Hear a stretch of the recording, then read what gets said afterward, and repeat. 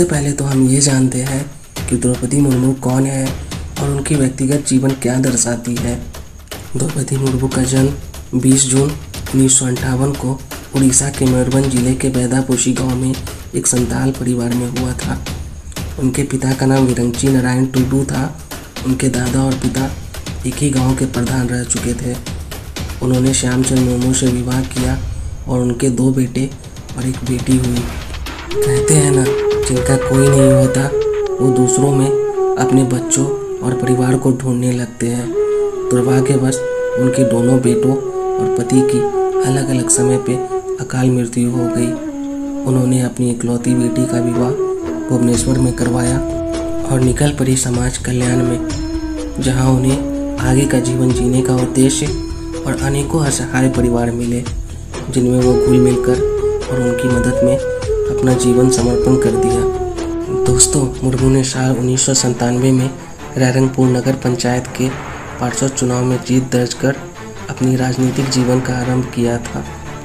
उन्होंने भाजपा के अनुसूचित जनजाति मोर्चा के उपाध्यक्ष के रूप में कार्य किया और साथ ही भाजपा की आदिवासी मोर्चा की राष्ट्रीय कार्यकारिणी की सदस्य भी रह चुकी है। दोस्तों, द्रौपदी मुर्मू को उड़ीसा के मयूरभंज ज़िले की रायरंगपुर सीट से 2000 और 2009 में भाजपा की टिकट पे दो बार जीत मिली और विधायक भी बनाई गई। उनको 2000 और 2004 के बीच वाणिज्य, परिवहन और बाद में मत्स्य और पशु संसाधन विभाग में मंत्री भी बनाया गया था। मुर्मू मई 2015 में उड़ीसा की नौवीं राज्यपाल बनाई गई थी। उन्होंने सैयद अहमद की जगह ली थी। और दोस्तों, झारखंड की पहली महिला राज्यपाल का खिताब भी द्रौपदी मुर्मू के नाम रहा। साथ ही वह किसी भी भारतीय राज्य की राज्यपाल बनने वाली पहली आदिवासी भी है।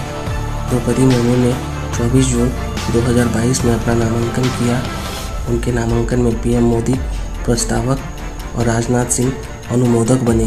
भारत की पंद्रहवीं और वर्तमान राष्ट्रपति पद का 2022 में शपथ लिया वो भारत के राष्ट्रपति के रूप में चुने जाने वाली जनजातीय समुदाय से संबंधित पहली व्यक्ति है और प्रतिभा पाटिल के बाद भारत के राष्ट्रपति के रूप में सेवा करने वाली दूसरी महिला है, तथा देश की अब तक की सबसे कम उम्र की राष्ट्रपति भी है।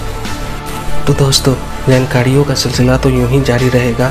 आप एक लाइक और सब्सक्राइब करना ना भूलें, क्योंकि ऐसे जानकारी वाले वीडियो लगातार आते रहेंगे।